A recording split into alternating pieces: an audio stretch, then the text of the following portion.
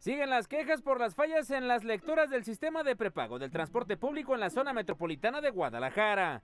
Algunos usuarios se quejan de que cobran doble o triple al momento de pasar la tarjeta por el lector. Mi tarjeta de transporte público, eh, hoy le puse 100 pesos de saldo y tomé mi camión y revisé mi boleto y resulta que ya únicamente tengo de saldo 82 pesos. Hay muchas ocasiones de que he tenido 50 o 60 pesos y pues tomo el camión y resulta que no tengo saldo, ya nada más puedo tomar un camión.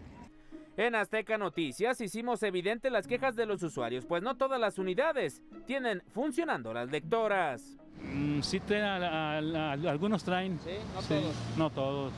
Y no funcionan unos tampoco. Cuestionamos sobre el tema en la Secretaría del Transporte. Esto es lo que nos informaron. En todos, en todos los procesos de implementación pues siempre se cuenta con, con eh, márgenes de mejora.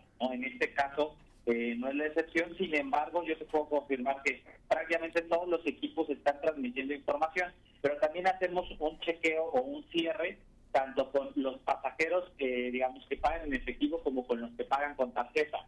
Y prácticamente las cifras tienen una diferencia de un 3%. Según cifras de la Secretaría del Transporte en la zona metropolitana de Guadalajara, circulan 4.819 camiones que en teoría deben de cobrar en efectivo, con vales y también con tarjeta de prepago. Gerardo Sedano, Azteca Noticias.